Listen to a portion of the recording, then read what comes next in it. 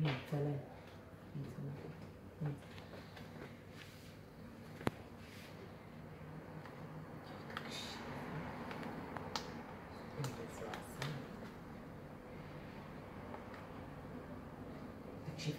המזל שלה שהיא הגיבה טוב, היא בעטה בו. בחורה אחרת. לא הייתה יודעת מה לעשות, בטח. היא אומרת, אני אפילו... אין חיים, אנחנו יצאנו והוא הולך. אה, הוא יחף.